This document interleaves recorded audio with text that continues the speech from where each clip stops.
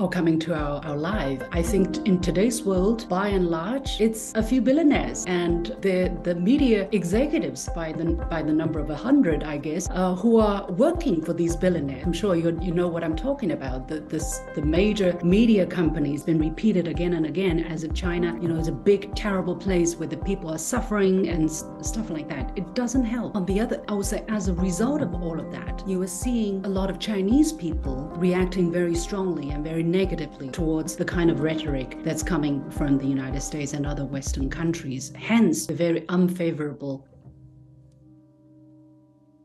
Hello and welcome to InferTalks, a podcast where I put you in the room with some of the biggest thought leaders from around the world.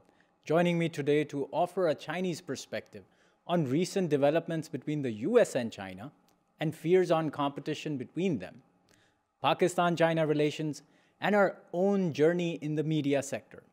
My guest today is the host of The Point on the CGTN, Xin. Liu Xin, welcome to InferTalks. Thank you for having me, Usama. Now, Liu Xin, right after your graduation, you joined CCTV English News Service as a news anchor. You also spent around six years in Geneva as CCTV's bureau chief, uh, and you later came back to Beijing uh, and joined CGTN as a leading anchor uh, since 2017 for the show The Point. Uh, let me ask you, as one of the leading anchors and as a woman journalist, what kind of obstacles did you have to overcome along this way? Thank you for having me, Usama. It's always good to talk to my Pakistani friends. Um, let me make a small correction. When I joined this organization, CGTN was not there yet. CGTN was officially um, established at the beginning of 2017. Back then, uh, I was still working for CCTV, which is uh, still there, but it's the Chinese language TV channel. So uh, I was working for the English language service. Um, since then, it's been 25 years. It's a, an amazing journey, I must say. And it's very interesting. You mentioned the word woman journalist. I certainly never thought of that that aspect, at least uh, whether it makes a difference for me to be a woman journalist or, or, or some other journalist. I just thought of myself as a as a journalist, um, maybe because of the kind of education that I was given while growing up, uh, the kind of family upbringing I was given by my parents, and also the social environment I grew up in. Um, we were told, or I was told, and like many of my peers, to just go for it. You know, there was nothing like you're a girl, you can't do this, or you're a woman, you can stay at home or do something minor. For me, the sky is the limit. And my mother always said, go for it if you want it. So so I tried what I wanted to do. I came into the TV station after I won a international public speaking competition and I was a news anchor for immediately afterwards. And I did news present presenting for 10 years. Then I said, okay, I'm, I'm bored of that. I wanted to see the world. So I went to Switzerland, as you said, to be an overseas correspondent. And again, being a woman never held me back. As a matter of fact, I think being a woman gave me some soft touches, let's say, when I was going for a difficult story. For instance, when I was looking for uh, interviewees after major terrorist attacks, I think the fact that I was approaching from a very soft and very compassionate perspective um, made people open up to me. So um, I I thought it was a, a, great experience. In terms of limitations, of course, there were the physical limitations, but I tell you, Usama, you've been in the news business for many years, I guess. And nowadays, there is nothing holding back the women. The female cameramen, for instance, they can they can carry very heavy, heavy equipment, camera, tripods, you know, live views, and they run as fast as their male counterparts. So it's amazing what females can do in this career, and I'm very privileged that I've been given this opportunity. Um, I, I, on top of that, I would like to say that although being a female did not prevent me from doing my job, um, I do see limitations as as a human being. And that's what i constantly uh, strive to overcome. For instance our limitations and i keep thinking of that because um, we all try to do a better job but what's holding us back? I think these are common things. I don't know about you. For me uh, for instance old habits lack of knowledge um, prejudice even the lack of um, uh, vocabulary sometimes because because I'm speaking a foreign language, and vulnerability, negativity, uh, impatience, even egoism, all of that constantly try to prevent us from doing a better job. So today, as much as 25 years ago, I'm still finding it very challenging, and and and there is still always a lot to be learned and a lot to build on what I've already been able to accomplish. And it's exciting journey as always. Now, Liu Xin, let me bring your attention to another important aspect, and this is about you know media reports about uh, you know how the media is reportedly uh, set to operate within China, and it, this has to do with you know uh, the media being controlled by the government. Uh, how has your personal experience been uh, on that front? Uh, and what's your outlook as a journalist uh, while uh, you know while reporting or speaking on different issues? Appreciate that you were very careful in the framing of your question. You said it's reported or you reportedly that China's media is controlled by the government. I think that is um, the the prejudice. That's also the can I say the uh, the understanding a lot of people have about the media here in China. But I want to turn the table and ask the question: Who really control the information that coming to our hand uh, or coming to our our life? I think in today's world, by and large, it's a few billionaires and the the media executives by the by the number of a hundred, I guess, uh, who are working for these billionaires. And I'm to- and I'm sure you you know what I'm talking about. The this the major media companies that control the main TV stations, the print media, and of course, excuse me, the billionaires who are controlling the social media platforms we're all accessing. So, in that regard, we are actually very much being controlled. And I'm not saying reportedly, we are being controlled by these few billionaires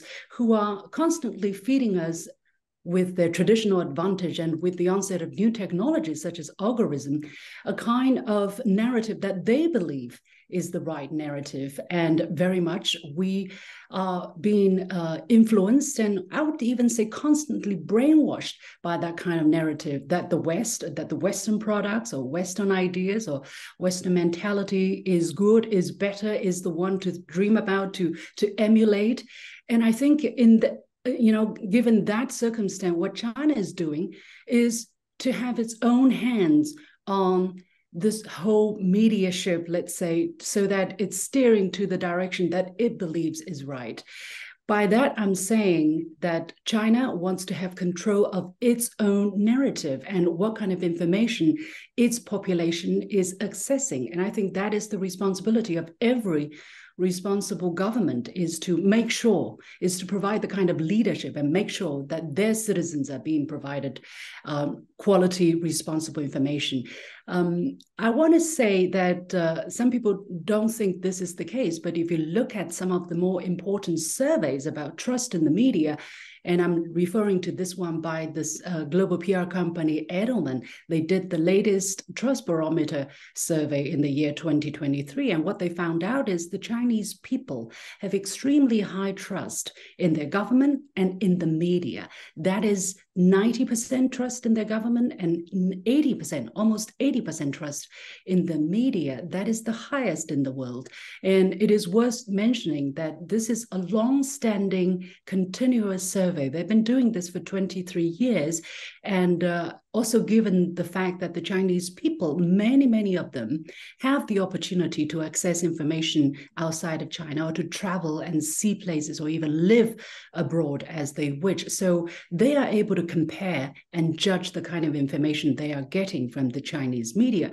So this extremely high level of trust by the Chinese people, I think, tells us a lot about whether the Chinese government is doing the right thing by providing that kind of leadership I was talking about and uh, whether uh, it is effective and whether it caters to the need of the Chinese population. By contrast, if you look at the trust by Western populations to their media is extremely low. Actually, according to the same survey, it's the lowest in history, almost hovering around something between 30 to 40%, where, for instance, in the United States, people say 30 to 40% people say they have no trust in the media at all. So I think by answering this question, I'm trying to challenge the traditional perspective or understanding that China or the Chinese government is controlling the media so that people don't really have you know the kind of quality information they they they deserve and they need. Whereas in the west or in some other western style societies the media is free or people can you know can set up their own media. So the media landscape is better so that they're more trustworthy. It's not the case. I think people probably need to have a better or different understanding of the situation there. Now Liu Xin let me bring your attention to another important development that took place last year. And this was you know, the meeting that took place between President Xi and President Biden uh, at the San Francisco APEC 2023. Uh, both sides continue to have you know a different outlook uh, in terms of avoiding the confrontation between the two countries. President Biden said, and I quote, "We do not want the competition to wear into a conflict," and he said, uh, uh, perhaps stressed of managing competition responsibly while President Xi said that major country competition is not the prevailing trend of current times and cannot solve the problems facing China, the US, and the world. Do you think can the US and China pragmatically manage each other's expectations and fears about this possible uh, competition? I would say absolutely they can and they have to because none of us is going away. We all have to find a way to live with each other. So we've got to find a way to manage this relationship. And hopefully, there are adults in the room. If not across the Pacific Ocean, definitely on China's side, there has been a very measured response and very rational approach to this relationship and consistent as well, despite the kind of changes uh, in the political scene in the United States. I would break it down into differences and commonalities, and I want to start with common. What is in common between the United States and China at this moment uh, when it comes to this relationship? I think they all want to. They all want this relationship not to go into a kind of uh, relationship of conflict. They want to manage their differences. But the difference is China believes this relationship shouldn't be defined by competition, whereas the United States wants to define this relationship by the word competition. In other words, to the United States, and this is my interpretation, to the United States, this relationship is about us versus you, whereas for China's relation, for China, this relationship is very much about us and you.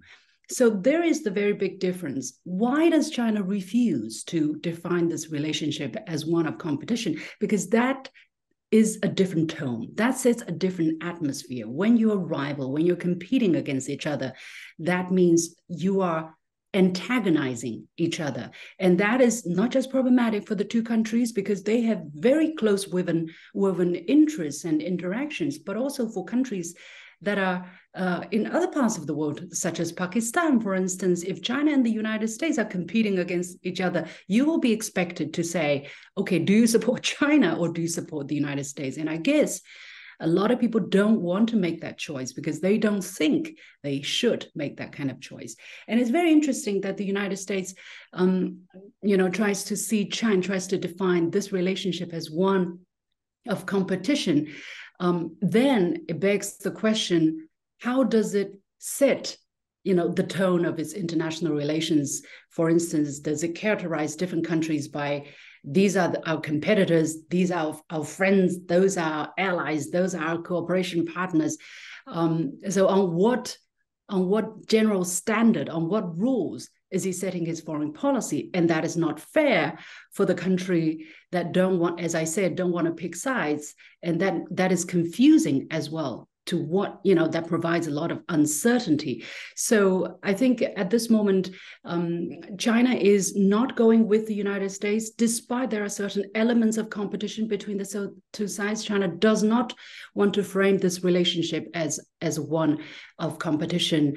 Um, the, the difference the difficulty thing is in the united states there seems to, to be this chinese bogeyman um, mentality. Uh, if you look at some hawkish members in the Congress, for instance, in the, in January of 2023, there was this so-called um, "Tough on China" committee that was set up in in the House, and then President Joe Biden also signed into law the uh, National Defense Authorization Act, which sets nine hundred billion US dollars in military spending for the year 2024. And again, to counter China or to create a kind of deterrence against China is a big part of it. So, on that uh, basis, it is um, not going to be a very easy ride, even after the San Francisco summit between the two countries. And I think um, China and the United States will still have a lot of job to do. But on the other hand, I think after a, a tumultuous few years of uh, trying to find a way to deal with each other, both sides have come to a certain understanding that at least they've got to talk to each other. And that is a great thing that they're doing. Uh, I'm also very happy that uh, what came out of San Francisco was also the understanding that there needs to be more people to people exchange.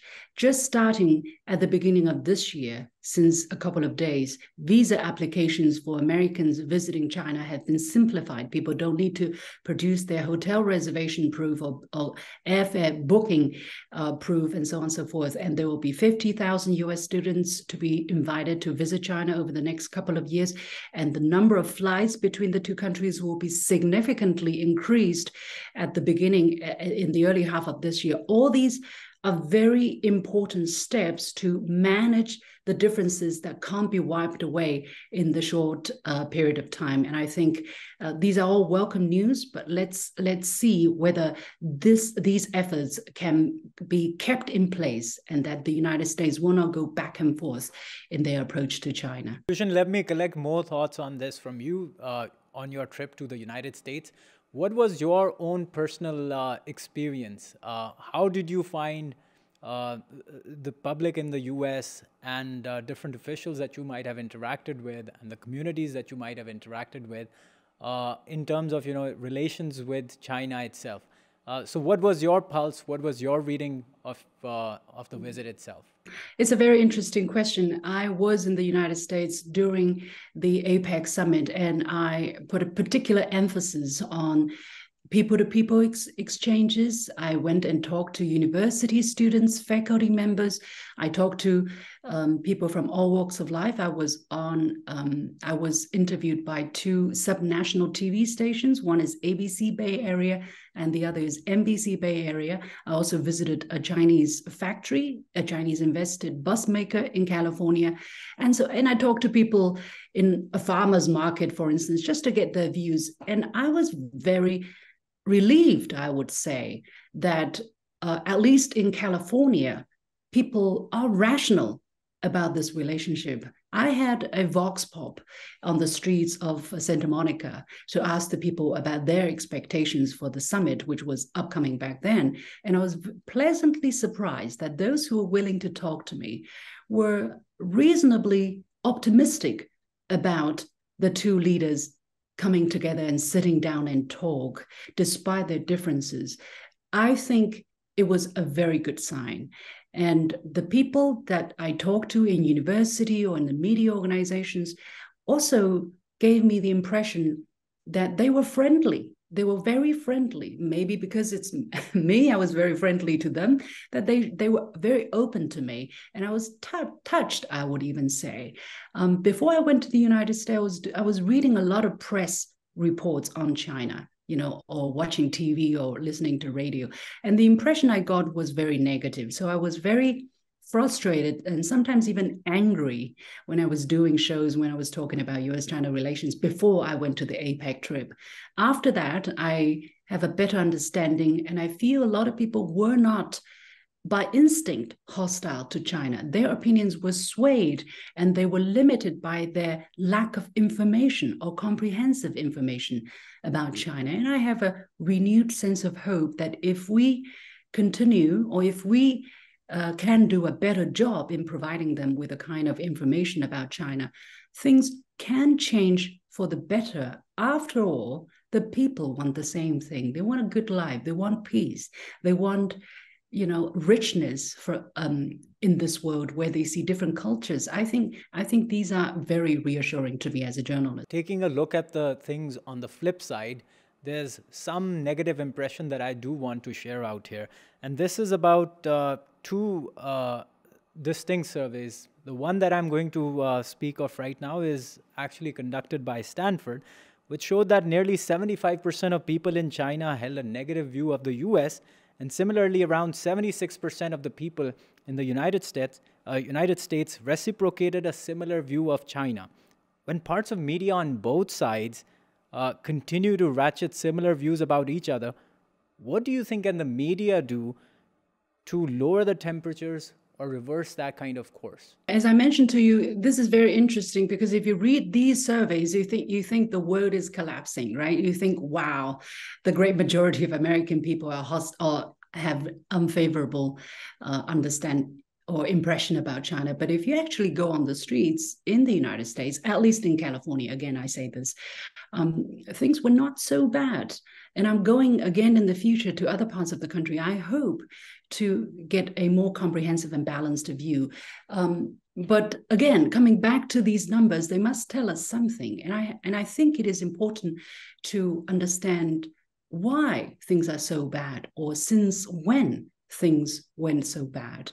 And if you look back at the development of such survey results or of such impressions, you can pretty much find that it's it's been it's been since the beginning of the Trump presidency especially during the pandemic years, that um, the American people's perception about China has uh, nosedived. And I'm and I'm sure this is not just in the United States. If you look at other developed countries, major developed countries, it's a very similar picture.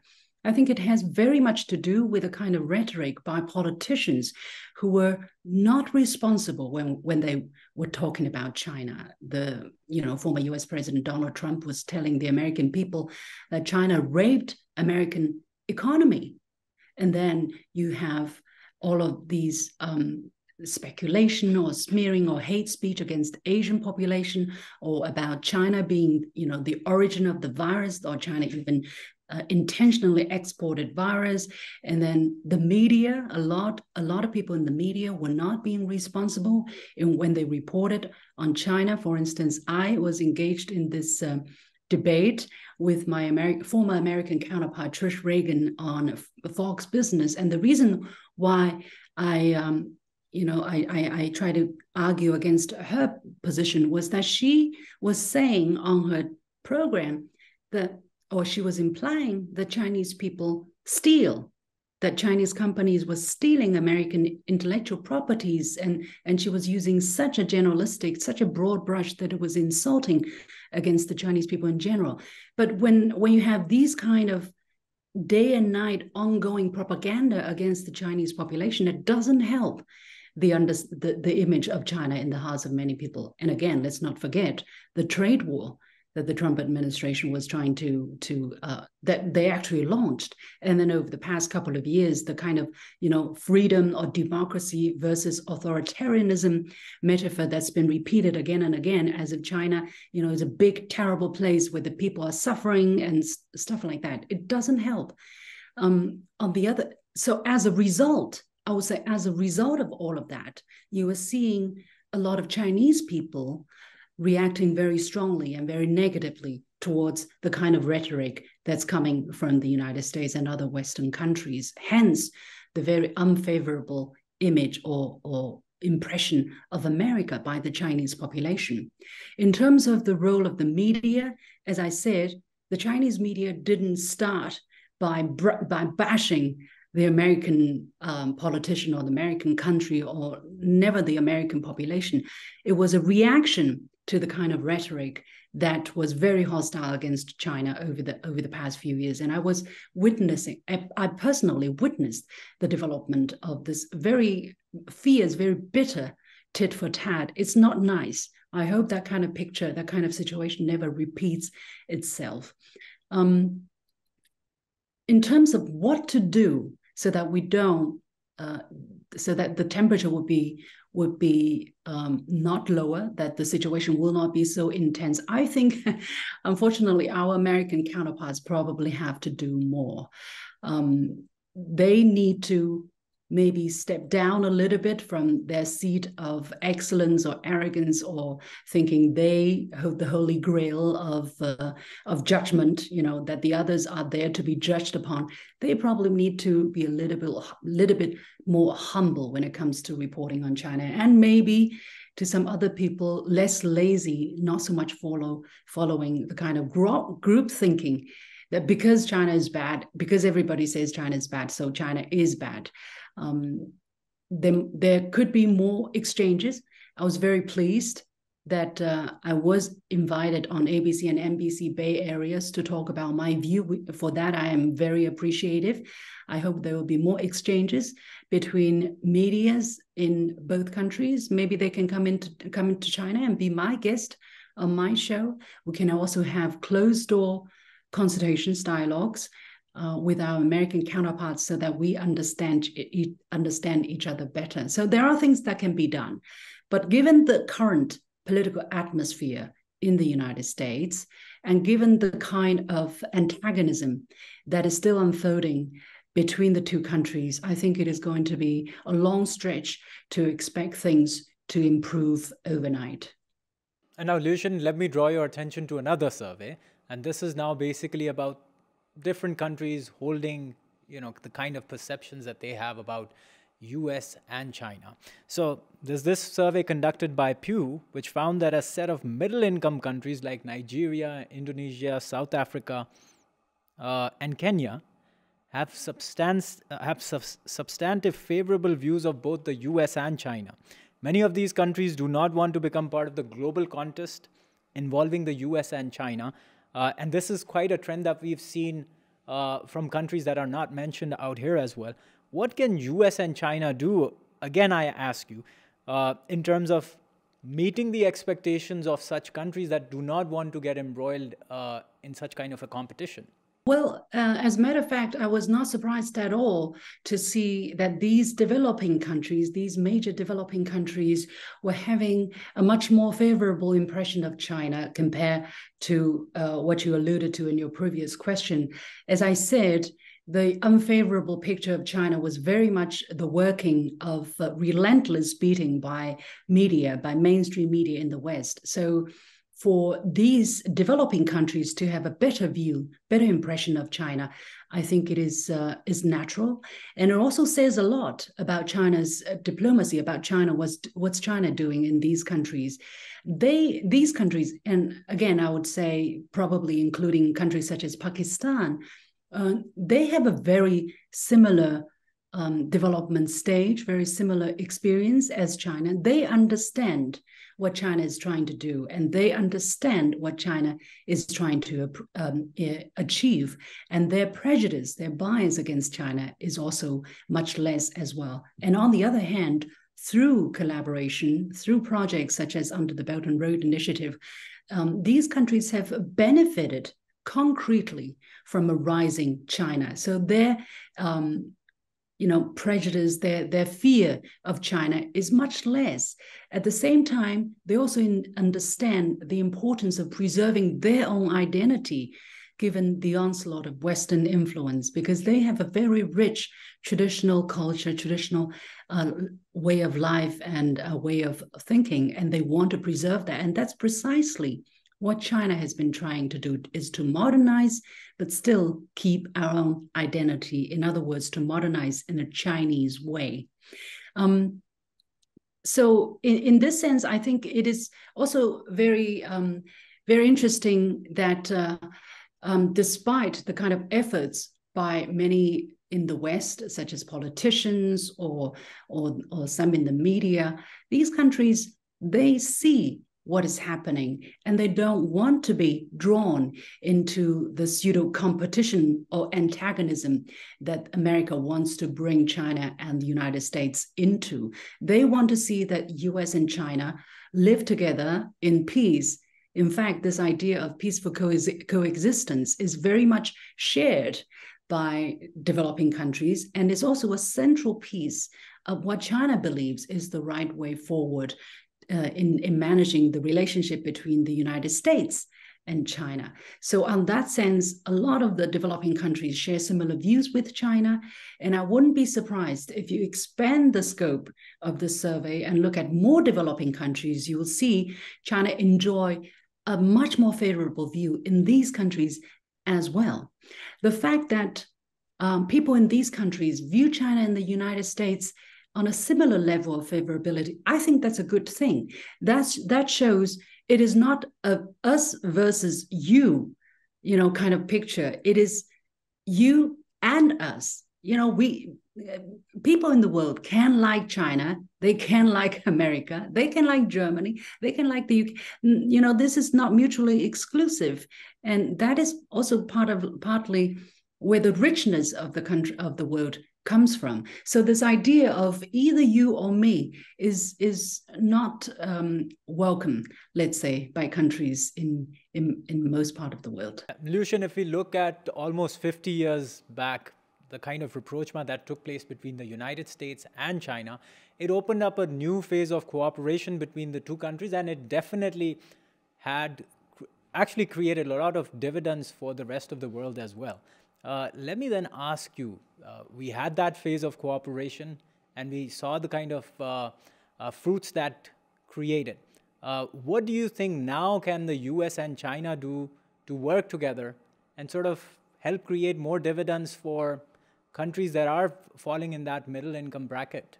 Think there are many things that China and the United States can do. Um, for instance, the leaders mentioned the field of climate change and uh, artificial intelligence, which um, is are the bright spots i would say in bilateral ties which have not suffered so much the damages of the up and downs of bilateral relations over the past few years. And there are much more.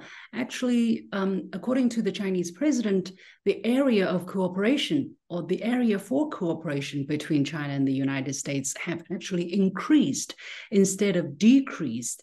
And that is also why china wants to define this relationship as one of cooperation potential instead of one of competition. For instance, in terms of green development, China is now one of the world's largest producer and exporter of new energy vehicles. In that sense, China is doing its part in helping clean the world's environment, isn't it? By investing hugely um, and producing EV cars for other parts of the world. I was in California and I visited this um, workshop invested by a Chinese company called BYD in California. That's the biggest in North America. And I see a very interesting picture where Chinese managers, and of course, with the assistance of American staff, are managing this plant where American workers are working happily, making um, zero emission buses for the streets of California so that California can enjoy better environment, less emission. And both the Chinese investors are benefiting, the Chinese workers are benefiting, the American workers have a job, they're able to put their expertise into good use. And of course, you know, the people who live in that state benefit from a cleaner environment, the passengers are able to enjoy um, quality service, quality vehicles, and so on and so forth. That is a great thing. If the two countries can work out um, a set of rules on what they can do together to make the world a better place, I think that is a, a great contribution, not just to the two countries, but also setting a, an example for other countries in the world, isn't it? Um, I think uh, there are there are great great opportunities to opportunities to be tapped into. Yeah. Liu Xin, now let me draw your attention to Belt and Road Initiative and the very flagship project involving Pakistan and China, and this is China-Pakistan Economic Corridor. Uh, uh, there are reports that both countries have now entered into the second phase of this project. Uh, do you or your network plans to do or carry out any uh, activities or any initiatives to sort of create awareness, sensitize your audience, and to create more exposure about uh, the kind of developments that are taking place, particularly in these special economic zones over here? I have to say, it's been a great pity that although I have appeared on Pakistani media a couple of times or in um, Pakistani institutions, I've never been to Pakistan. So it's a great pity. And I hope that in the near future, I would have the opportunity to go. I do know that um, there are a lot of uh, uh, importance that are atta- that is attached to Pakistan. Um, here in Beijing, I have very good relationship with uh, our Pakistani friends. And I hope that in the new, in the coming year, we would have the opportunity to go and visit, um, especially the, the corridor.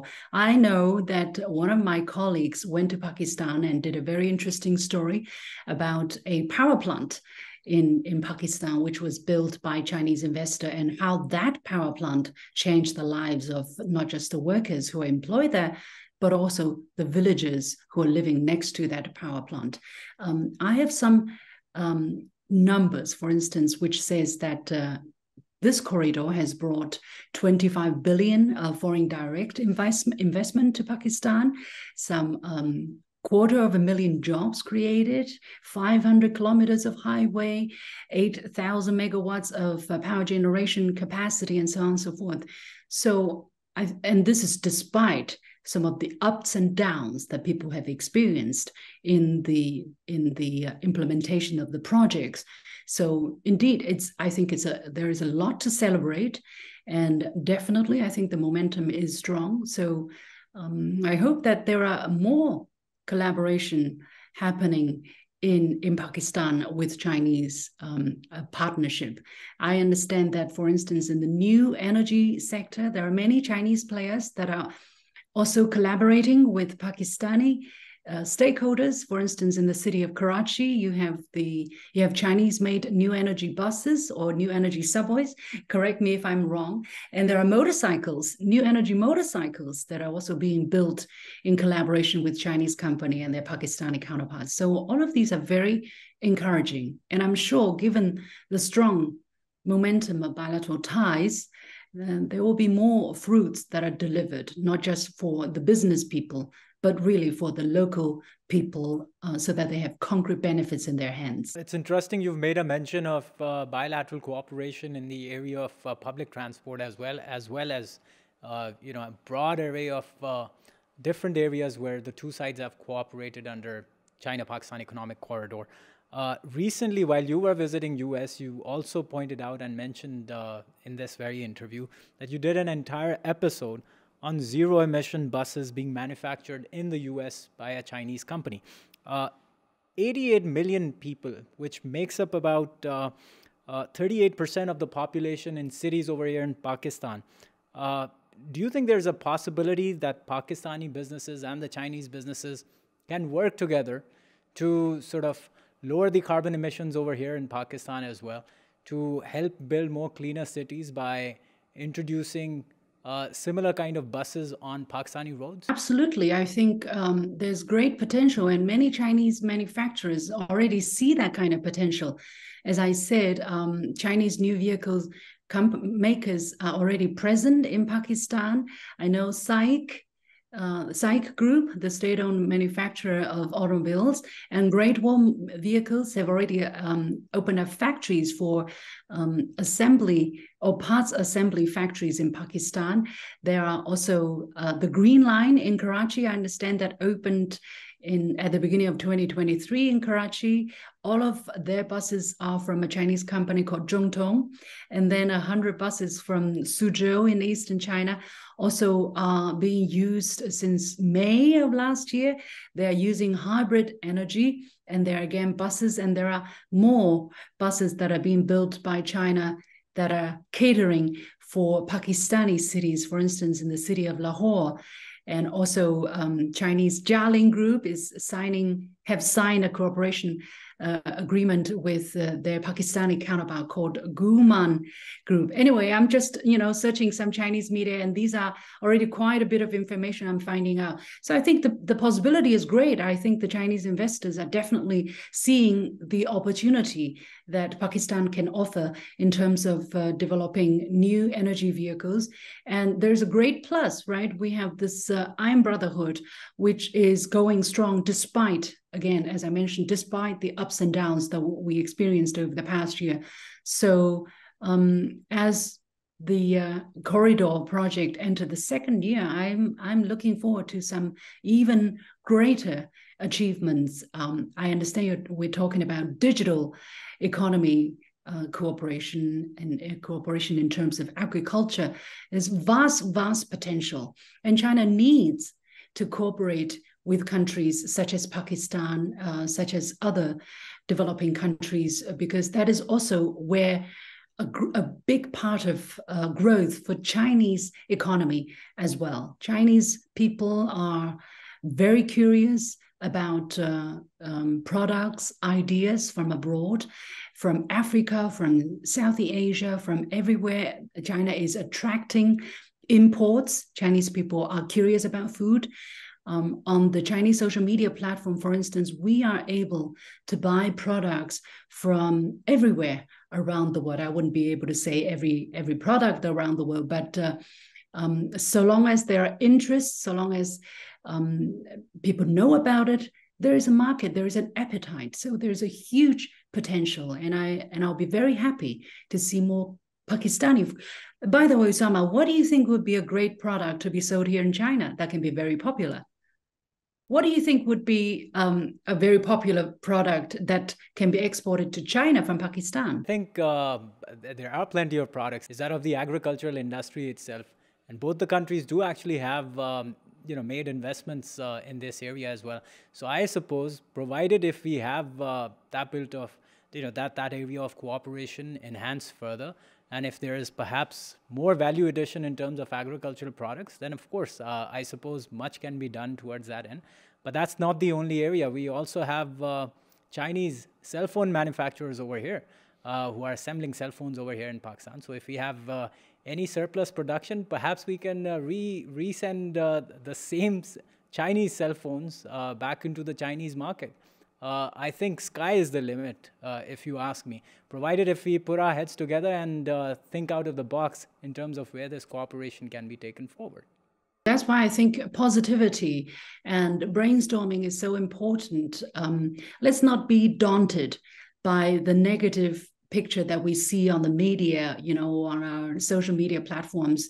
If you really go among the people, you see the nuance, you see the hospitality, you see the potential. And I'm very confident of uh, not just relationship between China and Pakistan and other developing countries, but also between Chinese people and American people. After this trip, I'm very confident. And Liu Xin, before we wrap up our conversation, my last question, and although we do tend to have uh, uh, cooperation between the media of the two countries, what would you really suggest that the two sides can do to enhance their cooperation in that sector? In the media sector, I certainly would welcome more interaction. Let's sit down, and sometimes it's better behind closed doors than you know open air because behind closed doors we really can open up and talk about you know much more substantive stuff and and and the time will not be so limited i think that is very very very important. That is why i was i was um i enjoyed and i learned a great deal after participating in some forums hosted by the national defense university of pakistan. I learned a lot about pakistan and also about china also about how china is perceived by the pakistani um, not so much in the general public sense, but you know, elites, scholars, officials, researchers, and so on and so forth, which is very important. I cannot talk to the world by just sitting in China and imagining what the world is like. I really have to understand, and and the way to do that is you know to have this kind of exchange with my foreign counterparts, and even better when you have criticism, where you have different ideas. I welcome that one of the things I personally benefited greatly from over the 25 years of my professional career is through criticism. When people challenge me, when people say, Liu Xin, you're wrong, you should do it differently, that's when I probably learn the most. So I think at least we can we can do much more about that. Liu Xin, on this note, I would really wish that uh, your team and you yourself can come to Pakistan someday, very soon. Very exclusive feature on uh, China-Pakistan Economic Corridor and other interesting areas of the culture itself. Uh, I once again thank you for taking out the time, being part of this show, and we look forward to uh, seeing you again sometime in future again. Thank you very much, Usama, for this uh, for this invitation. I hope I gave coherent answers. Thank you. Thank you so much. Thank you so much. Thank you for joining us for this conversation with Ms. Liu Xin. Our team works very hard to make this work possible, and it would mean the world to us if you could like and share our content. And if you'd like to stay informed about our upcoming podcasts and other work, please hit the bell icon.